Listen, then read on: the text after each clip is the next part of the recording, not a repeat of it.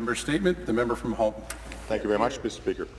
If a contractual agreement between a government and an industry continues to guarantee an indebted province over $1 billion a year, would you cancel it? I think not.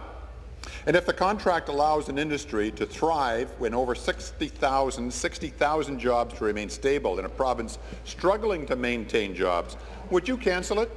I think not. So would it not be fit to ask why this government is cancelling a revenue-sharing contract with the horse racing industry and the municipalities which does just that? I think it would be fit to ask. The direct effect on the horse racing industry of, of cancelling the slots for racetrack program will also be felt by farmers who supply feed and hay, the veterinarian who cares for the animals, the myriad of suppliers who are essential to this industry.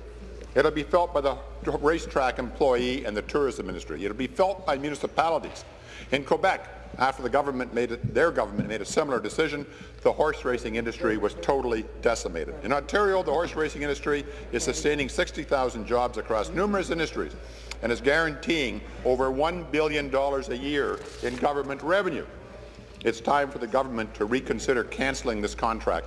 It's time to make the right fiscal decisions to ensure that Ontario prospers with jobs once again. Thank you, Mr. Speaker. Thank you. Member statement.